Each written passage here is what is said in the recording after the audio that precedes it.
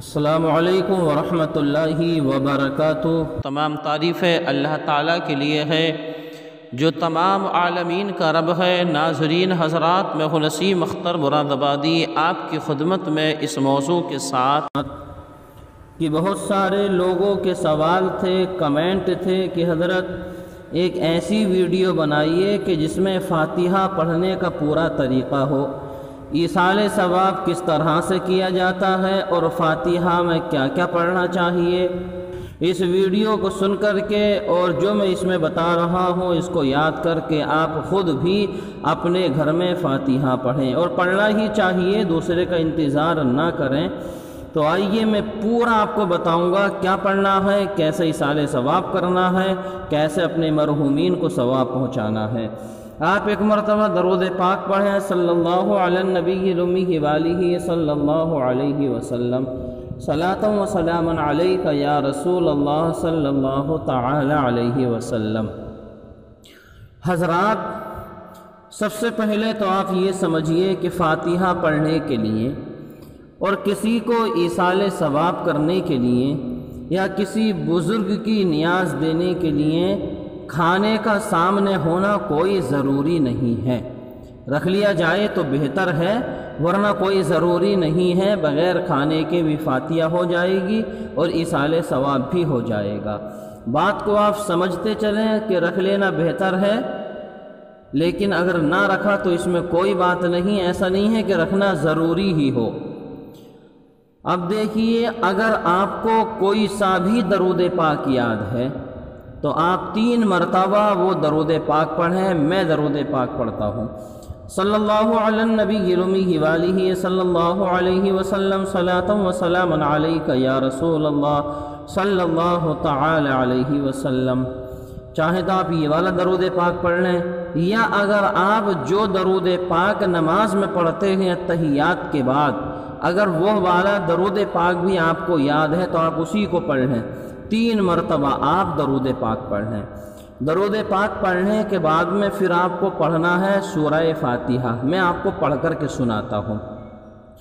اعوذ باللہ من الشیطان الرجیم۔ بسم اللہ الرحمن الرحیم۔ الحمد للہ رب العالمین۔ الرحمن الرحیم۔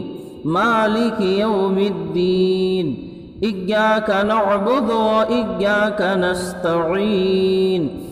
اهدنا الصراط المستقيم. صراط الذين أنعمت عليهم غير المغضوب عليهم فلا الضالين. آمين.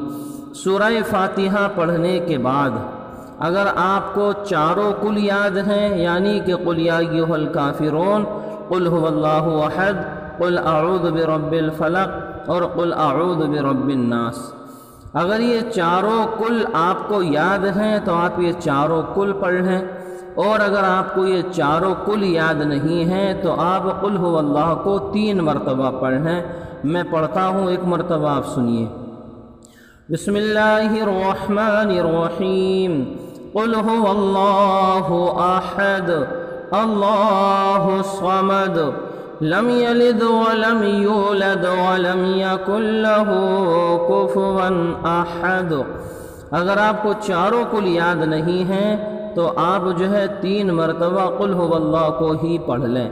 اور اگر آپ کو چاروں کل یاد ہیں، تو آپ چاروں کل پڑھ لیں۔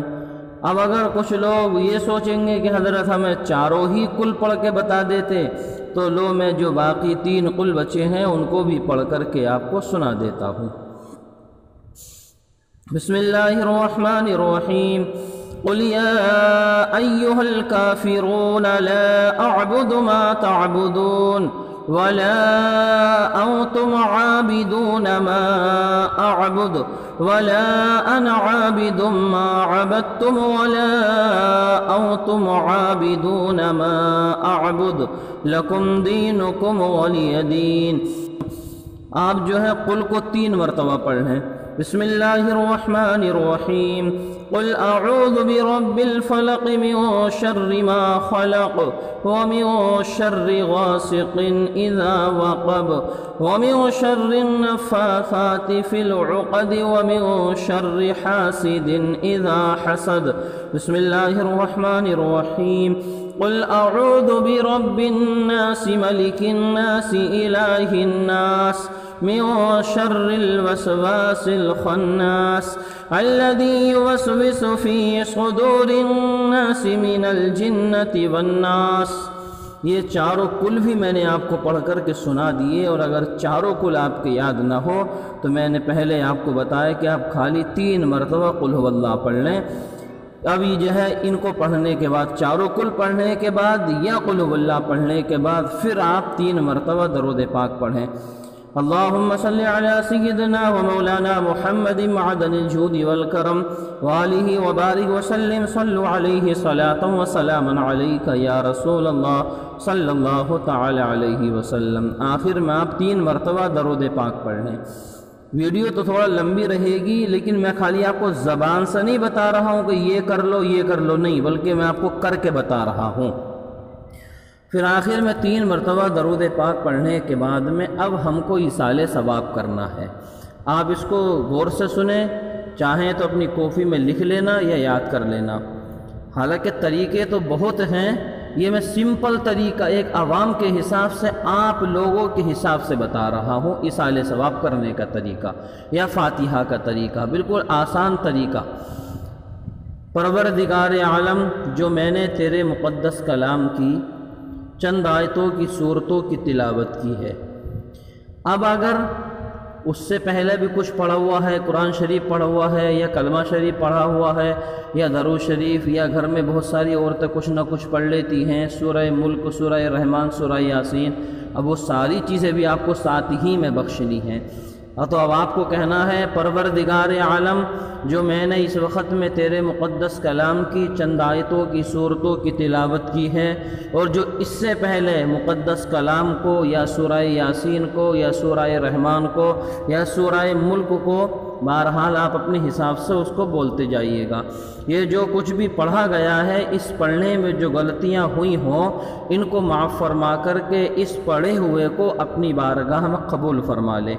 پروردگار، جو تو نے اس کا ثواب ہمیں عطا کیا ہے، ہم سب سے پہلے یہ ثواب تحفتاً آقا کریم حضور صلی اللہ تعالی علیہ وسلم کی بارگاہ میں پیش کرتے ہیں، قبول فرما لے۔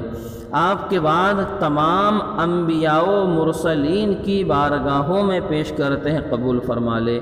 ان کے بعد سرکار کے صحابہ، صحابیات، ازواج متحرات اہل بیت اطہار کی بارگاہوں میں پیش کرتے ہیں قبول فرما لے۔ ان کے بعد حضور غوث پاک رضی اللہ تعالی عنہ کی بارگاہ میں پیش کرتے ہیں قبول فرما لے۔ حضور غوث پاک کے صدقے سے مولا، تمام بزرگان دین کی بارگاہوں میں یہ ثواب ہم پیش کرتے ہیں قبول فرما لے۔ پروردگار، اس کا ثواب جتنے ہمارے مسلمین مسلمات، اہل و عیال، خاندان والے، رشتہ دار، جو بھی اس دنیا سے جا چکے ہیں، ہم سب کی روحوں کو اس کا ثواب پیش کرتے ہیں، قبول فرما لے۔ پروردگار، اس مقدس کلام کے ثواب کی برکت سے، فاتحہ کے ثواب کی برکت سے، ہمارے مرحومین کو جنت المعلہ میں اعلیٰ سالہ مقامتہ فرما۔ یا ہمارے عزیز و قارب ہمارے رشتہ داروں کو جنت المعلہ میں اعلیٰ سالہ مقام عطا فرما۔ اور آپ کو اگر کسی ایک کا نام خاص کرنا ہے تو نام بھی خاص کر سکتے ہیں۔ مثال کے طور پر آپ کو بولنا ہے کہ کوئی بھائی یا باپ یا کوئی گھر والا انتقال کر چکا ہے کہ ہم اپنے والد یا ہم اپنے دادا عبد الغفور صاحب کی روح کو اس کا ثواب پیش کرتے ہیں، قبول فرما لے۔ ان کو جنت المعلم اعلیٰ سالہ مقام عطا فرما دے۔ ان کے گناہ صغائر قبائر کو معاف فرما دے۔ ان کے درجات میں بلندی عطا فرما دے۔ پروردگار ہم کو بھی اسلامی زندگی، ایمانی موت خاتمہ بالخیر فرما دے۔ جس کسی کے، جس کسی ایک کے نام سے آپ کو فاتحہ کرنی ہے، تو ان کا نام زبان سے لے لیں، خاص کر اور باقی اپنے جتنے بھی اہل ویال خاندان والے رشتہ دار ہیں، آپ سب کو وہ ثواب پہنچائیں، کسی کے ثواب میں بھی کمی نہیں آئے گی۔ دوسری بات آپ یہ بھی سمجھ لیں کہ بہت سارے لوگ کیا کرتے ہیں کہ اس پہ فلاں بزرگ کے نام کی فاتحہ ہوں گی، اس پہ فلاں بزرگ کے نام کی فاتحہ ہوں گی۔ تو وہ فاتحہ آپ کو الگ الگ دینے کی ضرورت نہیں، بلکہ ساری فاتحہ ایک ہی ساتھ میں ہو جائے گی۔ تو یہ تھا پورا فاتحہ کا طریقہ اور اصال ثواب کا طریقہ۔ اب جب آپ نے اصال ثواب کر دیا اور آپ نے دعا دے دی مرحومین کو، پھر آپ اپنے لیے بھی دعا کر سکتے ہیں، پروردگار میرے، ہمارے گھر والوں کے علم و عمل میں، عمر میں برکت دے، ہمارے گھر میں خیر و برکت کا نزول عطا فرما۔ یہ دعا پوری کرنے کے بعد میں پھر آخر میں آپ ایک مرتبہ درود پاک پڑھ لیں۔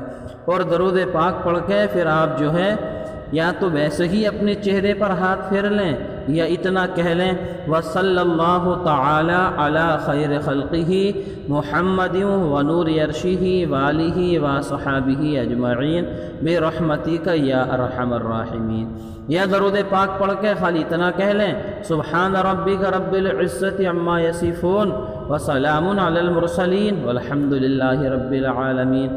یا درود پاک پڑھ کے یہ بات اگر آپ کے یاد نہیں ہے تو ویسے ہی اپنے چہرے پر ہاتھ پھیر لیں۔